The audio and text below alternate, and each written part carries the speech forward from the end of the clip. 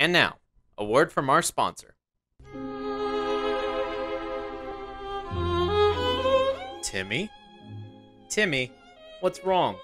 Dad, when are we going to a concert again? Not for a while, kiddo. Ah, jeez, I miss live music. Well, you know, Timmy, there's an alternative right now to live music. Really? What is it? You could watch a live session from the range. Really? What's a live session? Live sessions are recordings of bands and other artists performing their songs live. A live session ranges from 15 to 20 minutes and features many artists all across the United States, including local performers. That sounds great. But is there a live session for the type of music that I like? Oh, you bet, you little buffoon.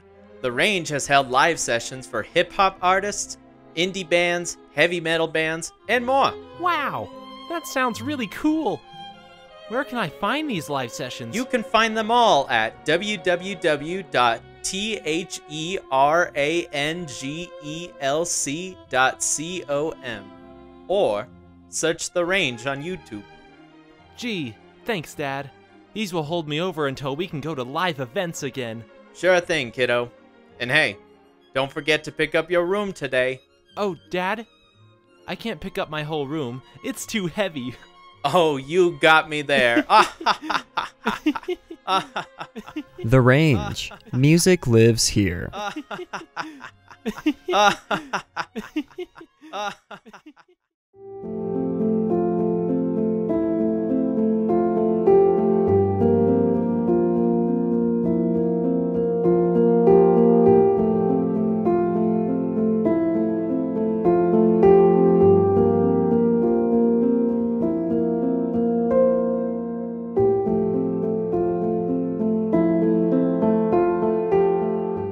Blank Conversations Theatre Company presents St. Valentine's Day by Annie Eliot. We now take you to the porch of a countryside home.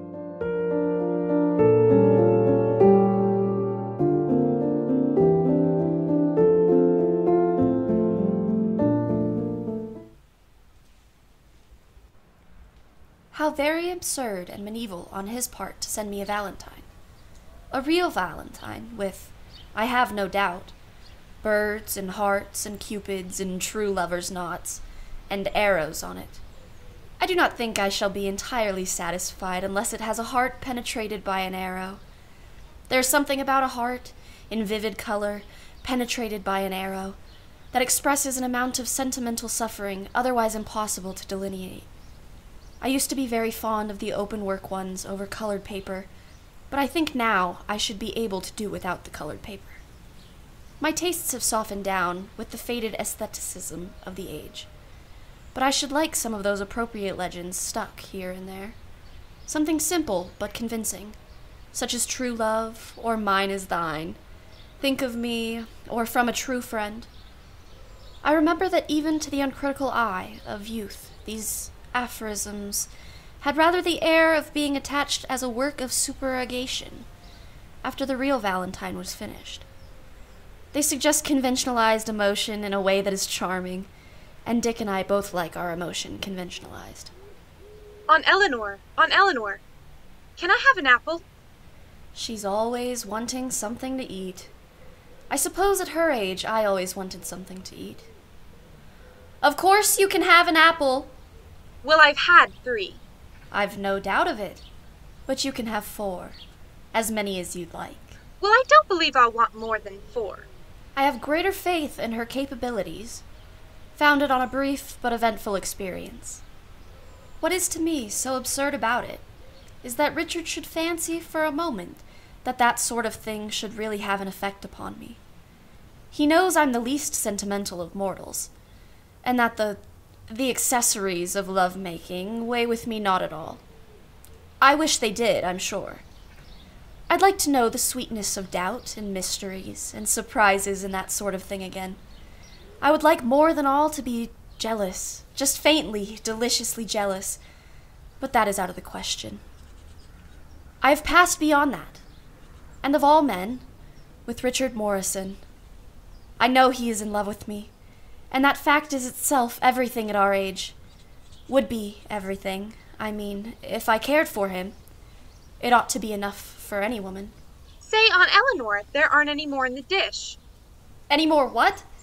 Oh, uh, I'm sorry, but Jane will get you some if you speak to her. It isn't really very much matter, Aunt Elinor, but if Jane can just as well. Oh, yes, Jane can just as well. It would need an extra housemaid to keep that dish replenished. What was I saying about enough for any woman? It certainly couldn't have been apples. Oh, uh, about knowing he's in love with me. Yes. And he knows I know it, and that certainly ought to be enough for him. What more could a reasonable man want?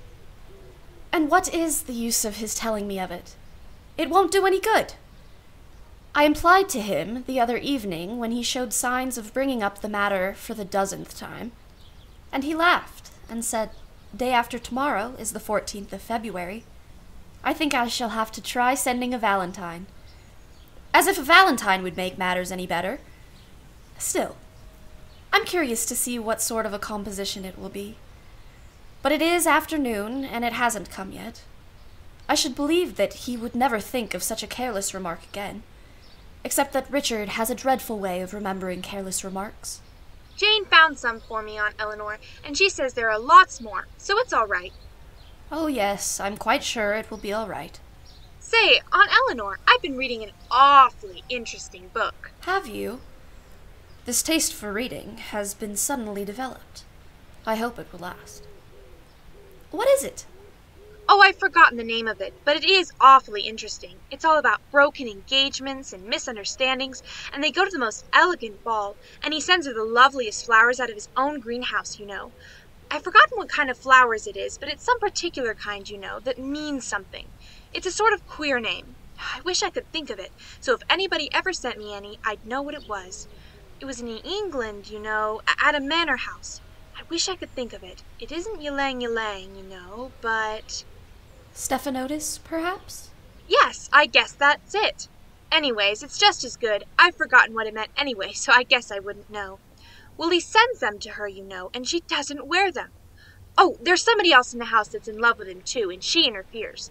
I think she mixes up the flowers or something. She's an awfully mean old thing, and I should think he'd seen right through her in a minute and known she, the other one, wanted to wear the flowers. I would, I know. Wouldn't you, Aunt Elinor? Oh, undoubtedly. There's nothing easier than unmasking deception in books. One doesn't have anything half so interesting. Well, it makes an awful lot of trouble anyway, and he quarrels with her, the nice one, you know, and goes off with the other. She has the most perfectly lovely dress at the ball, all kind of weird and serpent like and glittering, you know, and oh, I was dreadfully afraid he was going to propose to her. Wouldn't it have been perfectly awful if he had, Aunt Elinor? Oh, yes, perfectly awful. It seems so long ago that I realized how perfectly awful it would have been. And you know all along you worry about this serpent one. She's the most deceitful thing. She's a perfect schemer, and you wonder if it'll ever straighten out. Yes, certainly. It must be very interesting. I remember worrying over such misunderstandings, and really having doubts about their straightening out. It was crude, to be sure, but I fancy it was better than not caring whether they straighten out or not. Would you like a knife and plate? Oh, dear me, no. It's awfully fussy to have a knife and a plate. I eat most every bit anyway, all but just the stem and the other end. I like the core of this kind of apple. Some cores I don't. Then there's an elegant scene at the end where somebody dies. I don't know just who it was, for I sort of skipped on, but it's the most affecting thing. I almost cried just reading it over once. And the hero? I, think his name is Lionel. Isn't that a nice name? So kind of odd. He's so despairing. You never saw anything like the way he talks. Very likely. And yet I dare say he'll get over it. The more despairing they are, the less time they can keep it up.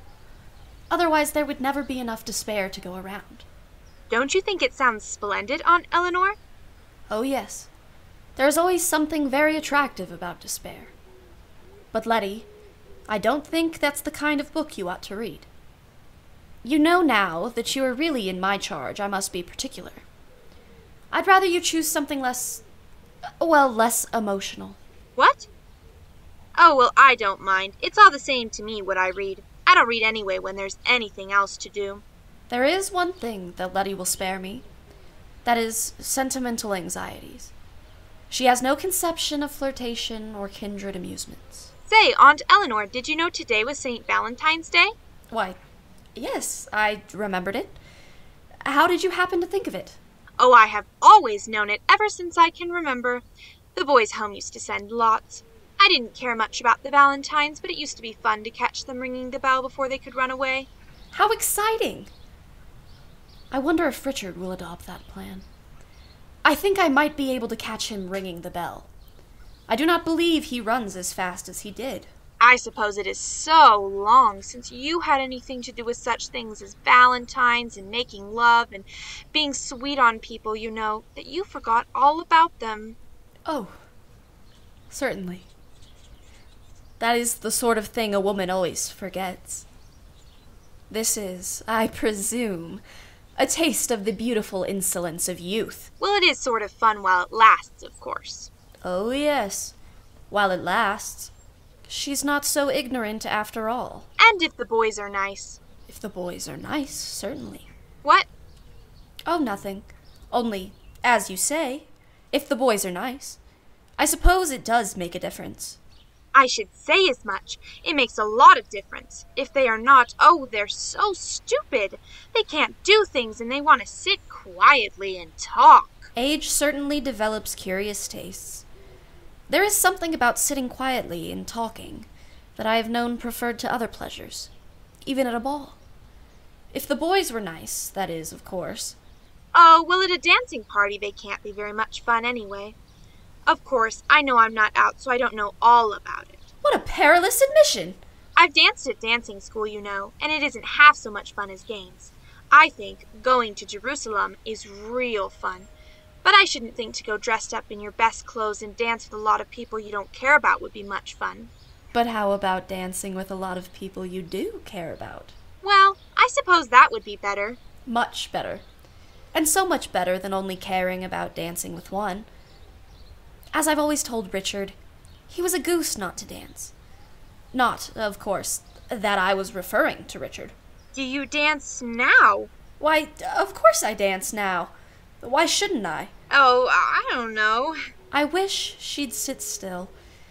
If they'd taught dancing, they did not teach deportment in Walkerville. But what is the use of being impatient? I went to look on once at a hop at a hotel, and some married ladies danced. Indeed. I thought it seemed awfully funny, but they did.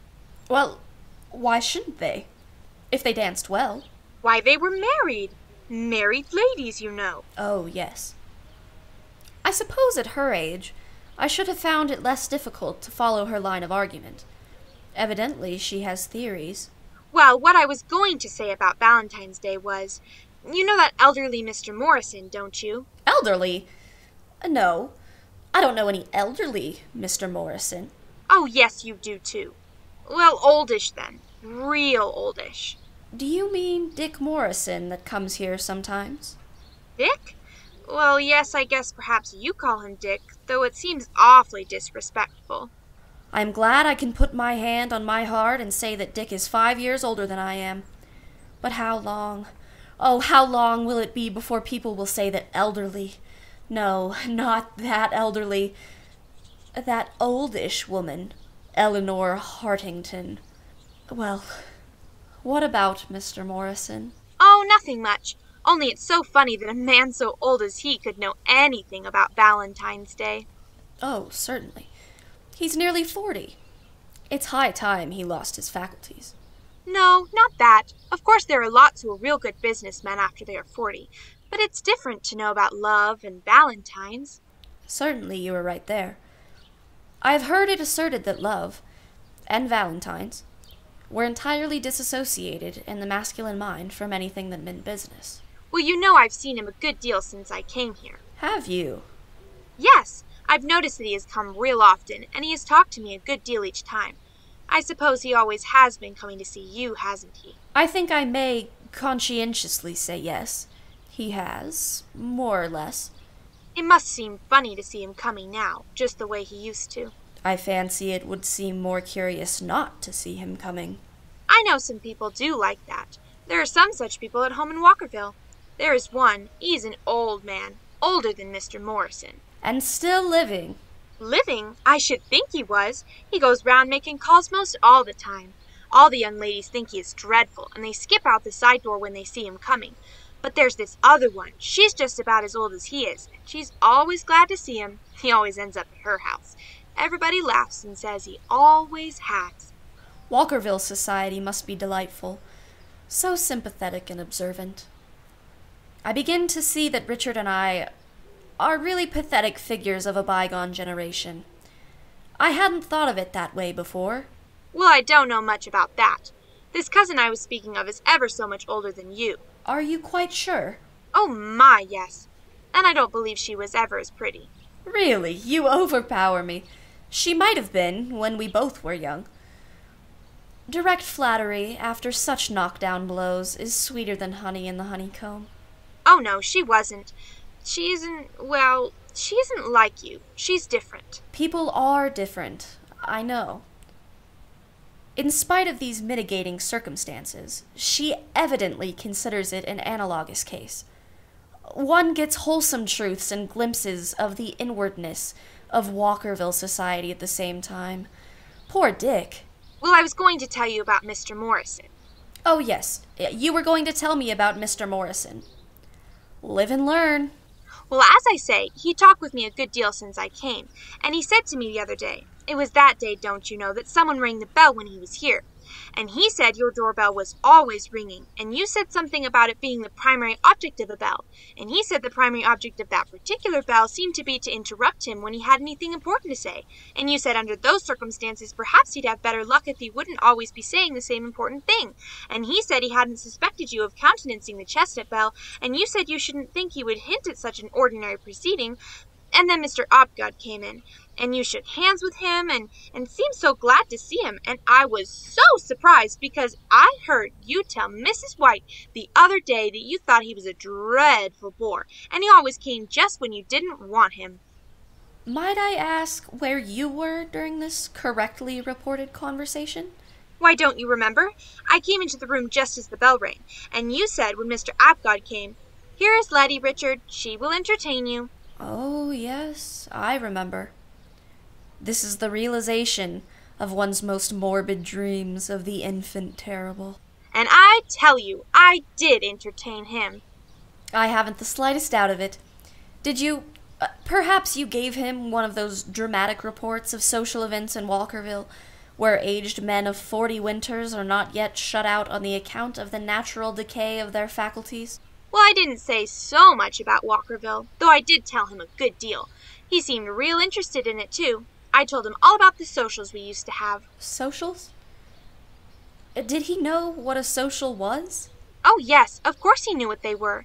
Why, I tell you, Aunt Elinor, I guess Mr. Morrison has been round a good deal. Oh, you think he has? Well, yes. Perhaps he has been around a good deal, but I didn't know that he'd ever been to a social. He said he'd been to a good many.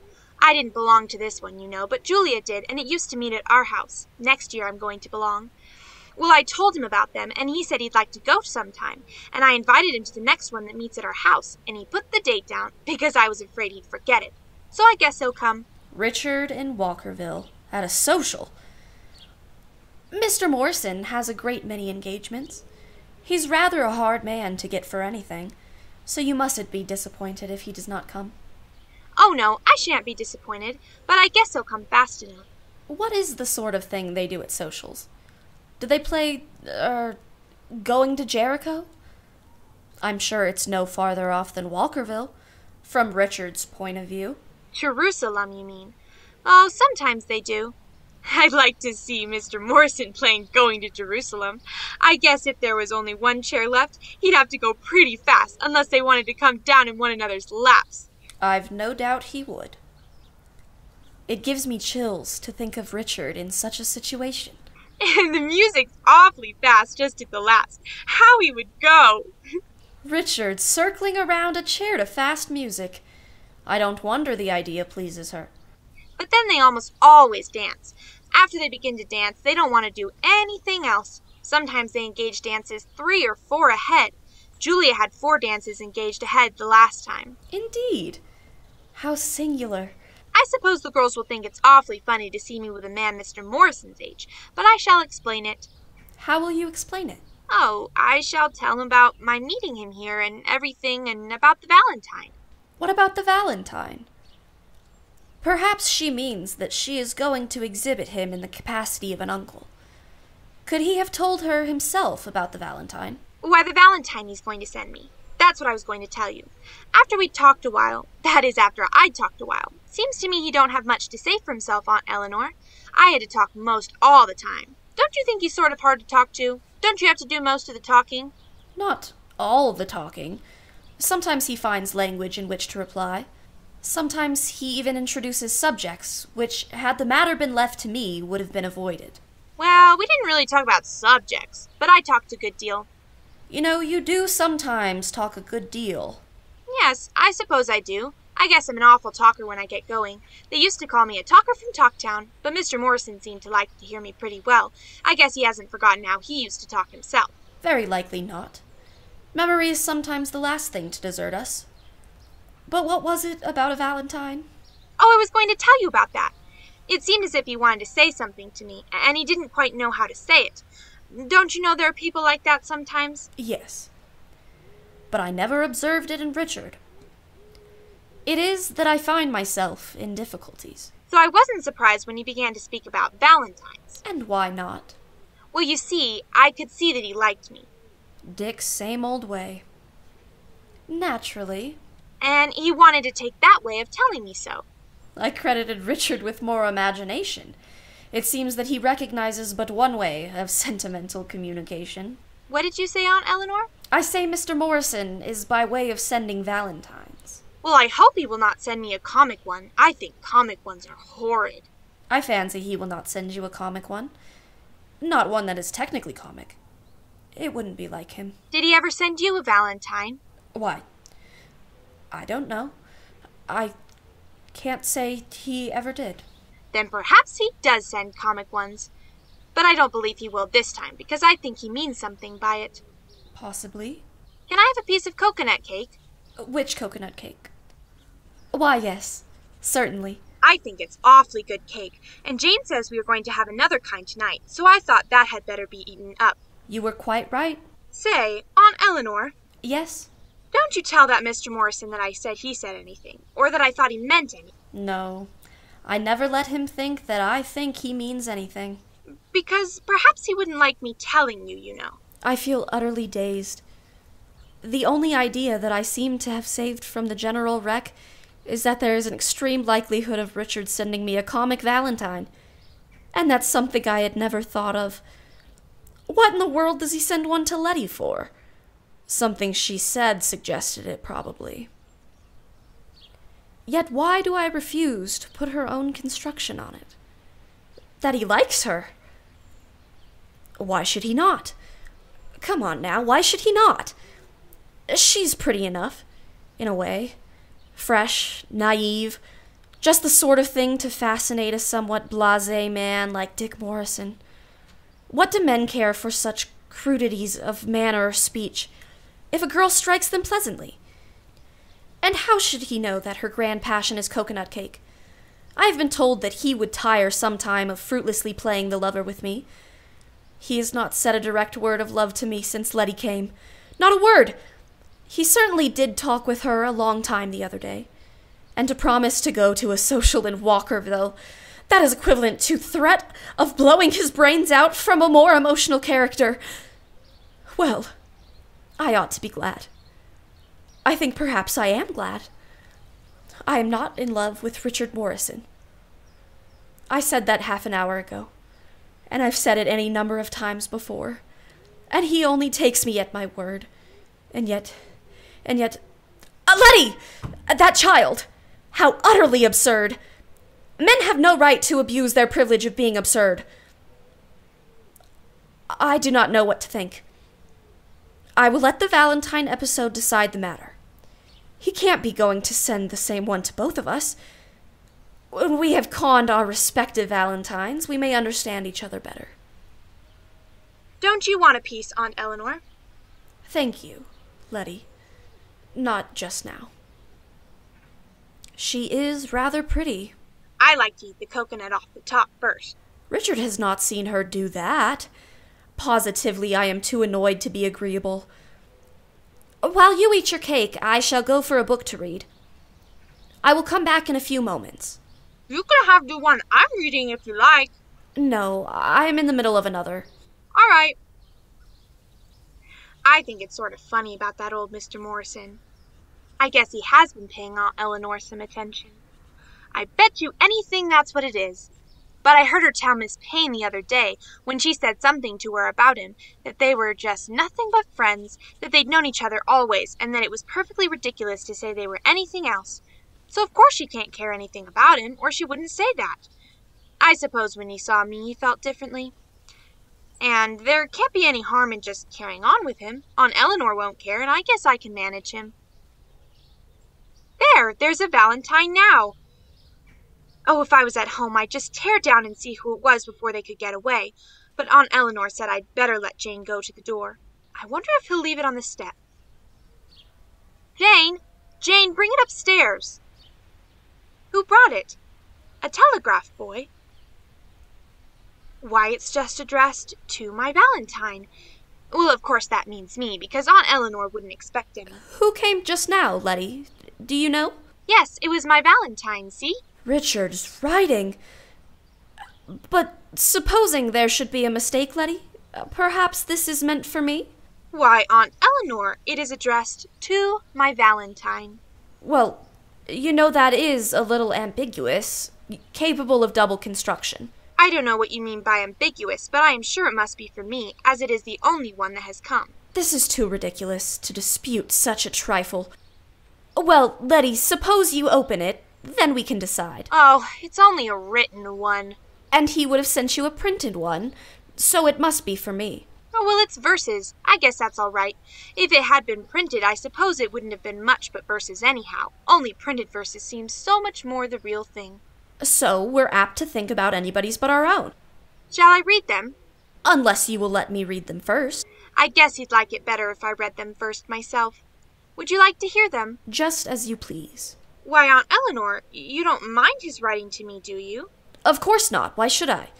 I didn't know, but perhaps you didn't like it. Well, this is the way it goes. A trite old fashioned, yes, at best. Well, I don't see why he should think it so very old fashioned, do you? A veil whose wearer stands confessed. I think that's awfully funny, the idea of a man wearing a veil. Probably this is intended for a comic Valentine. Uh, something or other, a, a ruse that cares not to mislead. Well, he'd better have directed it more carefully then, that's all I've got to say. A riddle he that runs may read. I think that's kind of mixed up myself. I think it's very pretty. But ah, so the story old, so is my lady fair and cold. That's me, I suppose. Certainly a most transparent illusion. As fair as those of other days. I'd like to know what ones of other days. It makes a good deal of difference, doesn't it, Aunt Elinor? I'd like to know just who he meant, for some of them are real homely in the history we've read at school. Oh, Helen of Troy, of course. They always begin with Helen of Troy. Don't be too exacting. Or perhaps he means of some of the girls he used to be in love with. I'm sure he has had time to be in love with lots. Possibly he has not husbanded his time properly, and consequently has not made the most of such opportunities. Oh, well, I don't mind. I ain't jealous of any of 'em. Is not a wisely pleading tongue as rare as when the world was young?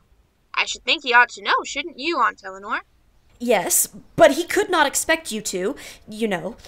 So it must have been intended for me. Still does not woman's fancy bid her lover keep his passion hid. Oh, I think that's just stuff. I insist that you do not read any more of what was not intended for your eyes. Letty, give me that paper immediately. Your childish vanity has led you past all bounds. You may be very sure Mr. Morrison, or anybody else, would never have thought of addressing a girl like you in such terms. It was written for me, and I assert my claim to it. But, Aunt Elinor, what would he write you a valentine for? You said you and he were just friends, and, and friends don't send valentines. Why, yes, they do. To be sure they do. Often. Why shouldn't they? But this isn't for a friend, it's for the lady he loves. He says so further on. This is dreadful, but I cannot compromise my dignity by taking it from her by force. Well, perhaps Mr. Morrison and I are something more than friends. Oh, goodness, are you really? But he said he'd send me a valentine. And I guess if you knew how he talks to a girl like me, you wouldn't say so much about my vanity. I will not believe he said anything to a girl like you that. that was anything at all. Well, perhaps it wasn't so much, but, well, if you cared anything about him, I'd tell you what it was. I do care about him. Oh, well, then, you can have your old valentine if it's as bad as that. What have I said? What have I admitted? I've told this child more than I ever told Dick. And the little wretch is enjoying it. I knew Richard would make trouble with this foolish idea about Valentines. Letty, you can go in the other room and write your French exercises. You have been rather impertinent. I wouldn't have said anything about Mr. Morrison if I thought you'd care.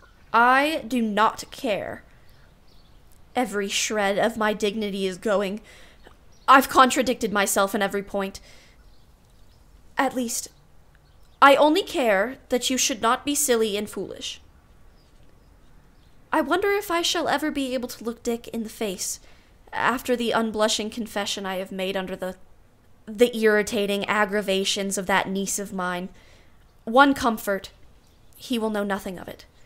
I will see that she does not repeat anything. Now let me see the valentine. A trite old fashion, yes, at best. A veil whose wearer stands confessed. A ruse that cares not to mislead. A riddle he that runs may read. Can Dick have written these lines himself? Or is it bribery, corruption, and a local poet? But ah, so is the story old, so is my lady fair and cold, as fair as those of earlier days, as cold as those of sweeter lays. That last line can't refer to my temper. Is not a wisely pleading tongue as rare as when the world was young? Still does not woman's fancy bid her lover keep his passion hid? There's a hint of personal experience in those lines. I'm afraid Dick sat up all night to write them. And so I take this old, old way to make her heed what I would say. This pen, like keener pens than mine, shall write my love a valentine. It is not so bad, to be fair. And ask, are not old fashions best? Can love like friendship not be dressed? And still be love, and to be true, must love and lover both be new? And still be love, and to be true, must love and lover both be new. I'm not sure that they must. Perhaps, after all. But what nonsense is this? To be convinced by a valentine, and not a hint of a heart or an arrow or even a glimpse of colored paper. I should think at least he might have had it lined with colored paper. St. Valentine's Day has bewitched us all.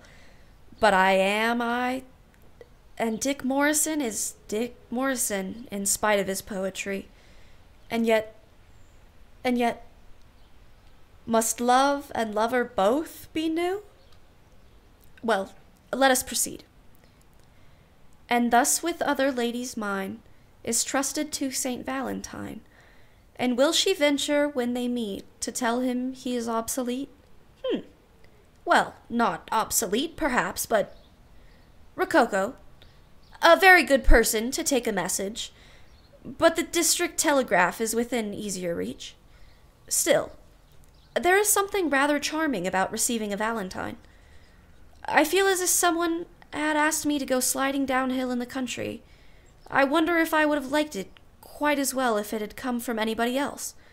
The idea of Letty. Oh, that was too absurd. Those questions are worse than the catechism. I feel as if I must give them categorical answers. Can love like friendship not be dressed and still be love? well, Richard has won a certain advantage by handing me over to St. Valentine. I feel as if he was waiting for my answer, like a telegraph boy, and it wasn't quite good form to keep such a personage waiting long. Altogether, I feel myself weak and vacillating. Aunt Elinor, why now Mr. Morrison is in the reception room. I'd almost rather it was St. Valentine. And I guess that Valentine was for you because I asked him and he said it was. And he brought this with him for my Valentine. He didn't have time to send it. And I'd rather have it anyways. And I told him what you said. Won't you have some, Aunt Elinor? Told him what that I said. I didn't say anything. Oh, yes. You know about your knowing he wouldn't write me because he cared about you and you cared about him, or something. Oh, Letty, why, I never said so. How did you dare to repeat it? Why, he didn't mind a bit. He just laughed and said he guessed his Valentine was addressed right after all. Well, it wasn't. At least, I don't know to whom it was addressed to. I told him you just knew it was for you. Well, he's waiting for you to come down.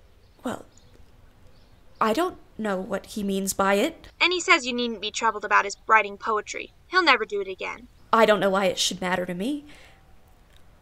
I don't know either why I am bandying words with Letty in this worse than trivial fashion. I'll go and see him myself, of course. And will she venture when they meet to tell him he is obsolete? I don't quite know, I'm sure. well, I think there's an awful fuss about a written Valentine. I sure am glad he didn't give her the candy. I guess her head would have been turned then.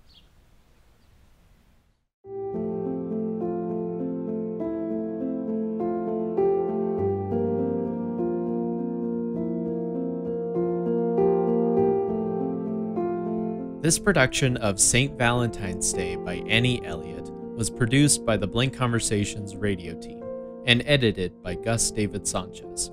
The cast is as follows Sage Drake as Elinor and Emma Kenney as Letty. If you enjoyed this production, consider donating to the continuation of programs such as these to Blank Conversations Theatre Company. You can visit their website at www.blankconversations.org or check them out at social media. If you'd like to learn more about the Blank Conversations radio programming, you can also visit their website to see the upcoming schedule. Thank you, and we'll see you next time.